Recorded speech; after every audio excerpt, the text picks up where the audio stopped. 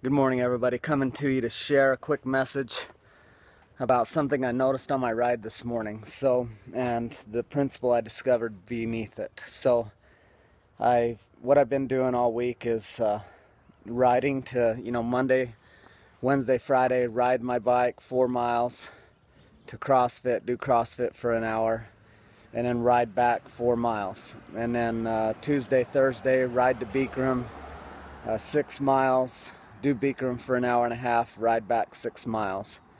And then at noon, Monday, Tuesday, Friday, swimming for an hour.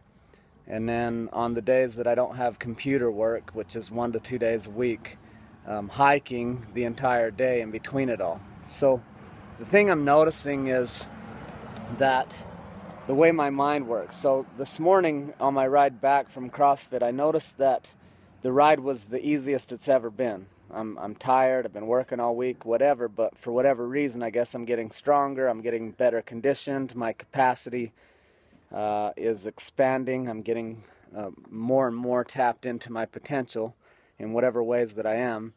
And but what I kept realizing is, oh, this ride was really miserable in the beginning, and it's getting easier and easier and easier. So, the key concept and principle I want to share about this is that in life, you know, like when I committed to Ironman six months ago, I wasn't an Ironman. I'm still not an Ironman. I'm in the process of becoming one. So when we make decisions from who we are currently, and we're thinking, oh, I can't do that. I, I don't have the capacity. I'm not fit enough. I'm not rich enough. I'm not strong enough. I'm not smart enough. I'm not capable enough. I'm not connected enough. Whatever it is, then we keep ourselves being the person we are, which means we keep getting the results that we have. So if you want to change your world, you've got to realize that you're no longer I'm I'm not going to be at the same fitness level when I get to Ironman that I was that I was when I started. And the same thing with your business, your relationships, everything else in your world, it always begins with a commitment. And so begin making decisions from the person you will be when you accomplish that thing versus the person you are currently.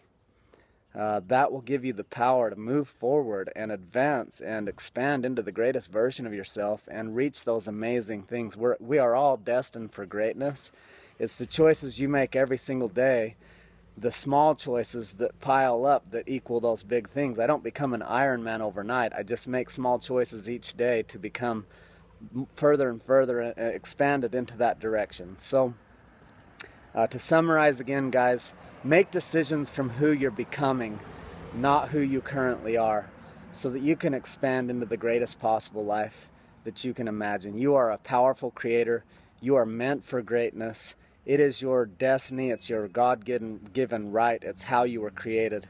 Live up to it. Fulfill your potential.